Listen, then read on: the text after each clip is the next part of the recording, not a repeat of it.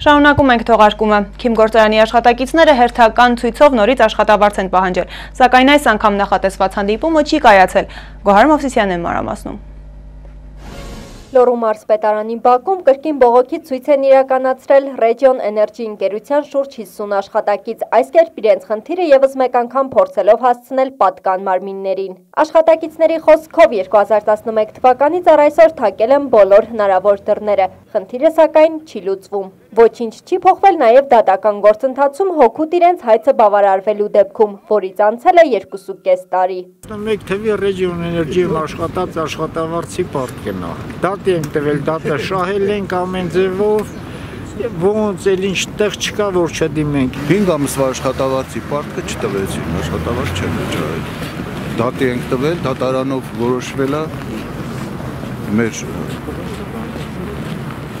պահանջը բավարարել դատարանը, որ իրավունքներ ունենք այդ գումարը պահանջելու։ Արդեն 3 հատ վարչապետի ենք դիմել, պրեզիդենտի ենք դիմել, դատարան, դատախազ։ Գնացել ենք կառավարության շենքի առաջ, մի ամբողջ օր մնացել ենք, իր հետ չկարողացանք մենք հանդիպենք, բայց նամակը տվեցին, գրանցեցին օրինական կարգով, ասեցի 10 օրից ձեր պատասխանը կլինի։ Ու այդ պատասխանը չգիտեմ, ստացան, չստացան, չկա, պատասխան չկա։ Region Energy կազմակերպության մասովային պարկը, այդ գիտեմ որ 150-ի կարգի աշխատող է եղել այդ ժամանակ։ 150-ի կարգի աշխատողներ, ասենք 5000-ից մինչև 2 միլիոն դրամ աշխատավարձի պարկ է ունի։ Թեև Վանաձոր Քիմպրոմի ղեկավարությունը պարտավորվել էր մարել աշխատակիցների աշխատավարձի պարտքը, խոստումը դեռ չի կատարել։ Ավելին, այժմ էլ աշխատակիցների կրճատման հերթական փուլն է իրականացվում։ Որոշ աշխատակիցների համար աշխատանքից ազատվելը անհարկի է։ Ավելին, դա որակում են որպես պատժամիջոց։ Ամսի 15-ին մեր պայմանագիրը լրացել է, դեկտեմբերի 15-ին։ 15-ից հետո ինձ հետ պայմանագիր չեն կապել, պատճառաբանելով, որ ժողովի ժամանակ ես լրագրող եմ կանչել։ Ես ուղղակի չեմ հասկանում նախ իրանք չեն կարողանում ապացուցեն, թող ապացուցեն, որ ես եմ լրագրող կանչել։ Եվ երկրորդը ընդունենք հլա մի հատ ընդունենք ես կանչել եմ լրագրող։ Դրա համար մարդուն աշխատանքից ազատում են։ Մարզպետարանի շենքի դիմաց հավաքված ցուցարարները այս անգամ էլ հեռացան առանց կոնկրետ պատասխանի։ Վերջին հույսը կապում են վարչապետ Կարեն Կարապետյանի հետ։ Հենց նրա հետ հանդիպման նպատակով էին հավաքվել։ Տեղում պարզվեց սակայն, որ վարչապետի լորի կատարվելիք այցը հետաձգվել է։ Գոհար Մովսիսյան, Մոլորակ։ Այլ թեմաներից այսօր Ֆորտունա լոռու մարզային հերոսայինկերությունը Վանաձորի կերպարվեստի թանգարանի միջոցառումները լավագույնս լուսաբանելու համար շնորհակալագրի է արժանացել կառույցի ղեկավարի կողմից։ Բացի դա այս հարկի տակ ցուցահանդես վաճառք է տեղի ունեցել, նպատակն է եղել ամանորի նվերներ հասցնել ստացիոնար բուժում ստացող փոքրիկներին։ Վաչե Մատինյանն է շարունակում։ Վանաձորի կերպարվեստի թանգարանի բակում կայացավ ցուցահանդես վաճառք, որտեղ ներկայացված են կերպարվեստի թանգարանի աշխատակիցների, աշակերտների, գեղարվեստի դպրոցի սաների, աշակերտական կոլեկտիվի եւ անհատ ձեռնարկների աշխատանքներ։ Մինչ ցուցահանդես վաճառքը յուրաքանչյուր տարի կերպարվեստի թանգարանը կազմակերպել է վարպետության դասեր, թե ինչպես ձևավորել ամանորյա սեղանը, ուտեստները եւ այլն։ Այս տարի էլ առաջին անգամ իրականացրեց ցուցահանդես վաճառք, որից գոյացած գումարով ամանորյա նվերներ կպատրաստվեն հիվանդանոցներում ստացիոնար բուժում ստացող փոքրիկների համար։ Բարեգործական տոնավաճառ ենք կազմակերպել, ուզում ենք երեխաներին, երեխաները երեխաներին օգտակար լինենք այս ձևով, հատկապես այն երեխաներին, ովքեր նոր տարուն չեն գտնվելու համապատասխան տեղերում կամ իրենց տանը, հատկապես ովքեր հիվանդ են կգտնվեն հիվանդանոցներում, ուզում ենք նրանց նվերներով գնանք եւ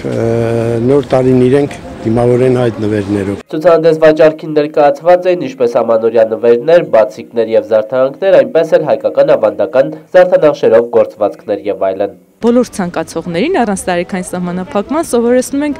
հուշանվերներ պատրաստել, դեկորացիաներ, ամանորյա տոնական սեղան ձևավորել եւ այս տարի առաջին անգամ մենք որոշեցինք, որ մեր խմբի մասնակիցների ձեռքի աշխատանքները դնենք վաճառքի բարեգործական նպատակով։ Ցուցահանդես վաճառքը տևեց 3 ժամ, որին մասնակցեցին Վանաձորի քաղաքապետը, պաշտոնատար Այլանդզին եւ բազում վանաձորցիներ։ Միջոցառման ընթացքում ամփոփվեց նաեւ Թանգարանի գործունեության 2016 2016 թվականը Ֆորտունա Լորումարձային հեռուստաընկերությունը թանգարանի գործունեությունը լավագույնս լուսաբանելու համար արժանացավ շնորհակալագրի։ Շնորհակալագիր տրվում է Ֆորտունա Լորու մարզային հերոստանգերությանը տնորեն Կարեն Արշակյան Վանաձորի կերպարվեստի թանգարանի գործունեությունը լավագույնս լուսաբանելու համար։ Պաշամարինյան Վալոդի Աբոյան, Մոլորակ Եվս մեկ նախաձեռնություն փոքրիկների համար բարեգործական ակցիան կրում է ես ձմեր պապ եմ անվանումը, ովքեր և ում համար ստանձնեցին ձմեր պապի պարտականությունները, իմացեք տեսանյութից։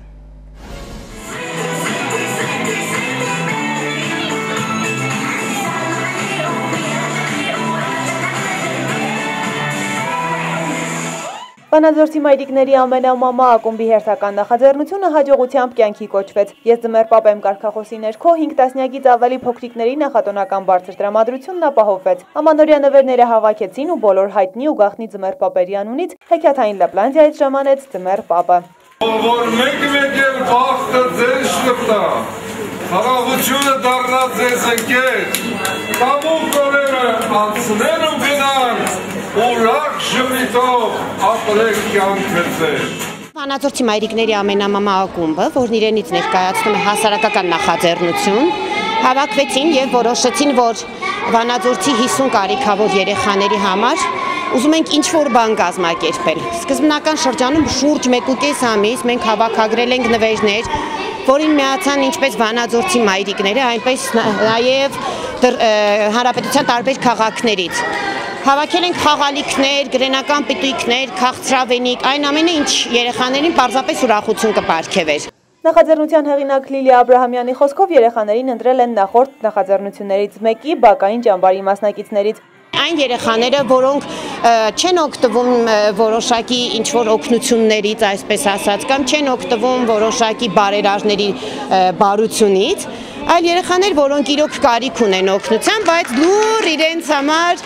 այսպես ասած հայերեն ասած սուս ու փուս իրենց ցավը տանում էին։ Կարծես թե մեր երեխաների ընտրությունը ճիշտ կատարվեց։ Ի սկզբանե 40 երեխա էին, բայց մենք այնքան շատ նվեր հավաքեցինք, որ կարողացանք տեղավորվել եւ 50 երեխաների համար նվերներ նախապատրաստել։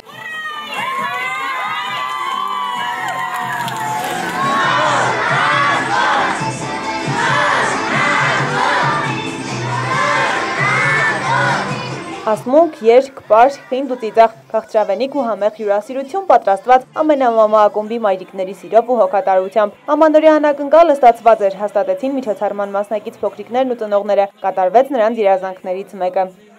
Ես մարպեպին շատ եմ սպասել ու ես իրան ձուզել եմ ավտո։ Ես շատ ուրախ եմ, մենք բարեցինք, երկեցինք, արտասանեցինք։ միջոցառումը կազմակերպելու համար եւ շնորհավոր ամանոր եւ սուրբ ծնունդ։ Ուզում եմ, որ այս տարին լինի բոլոր աշխարհի երեխաների համար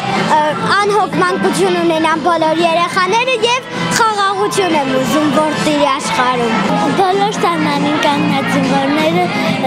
խաղաղություն դիտեն։ Շնորհավոր ամանոր եւ սուրբ Միջոցառման ավարտին տոնի մասնակիցները գեղեցիկ նվերներ ստացան անձամբ ձմեր պապից։ Օրվա ամենահիշարժան պահերն էլ անմահացրին լուսանկարներում։ Հերմինե Ավրյան, Վալոդիա Ավոյան, Մոլորակ։ Հաջորդիվ եղանակային կախատեսումներն են Էրնա Անտոնյանի մեկնաբանմամբ, իսկ ես այսքանով հրաժեշտ եմ տալիս և մաղթում հաճելի հանգստյան գիրակի։ Ցտեսություն։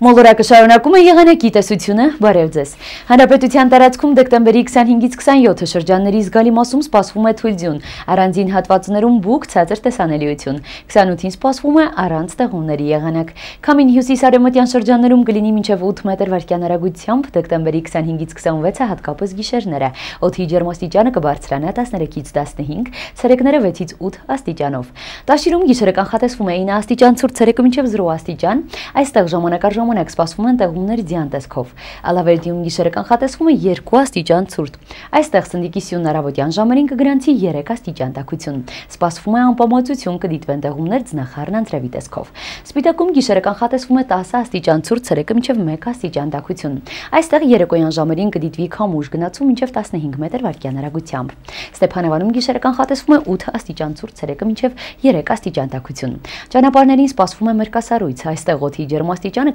կբարձրանա 2 աստիճանով։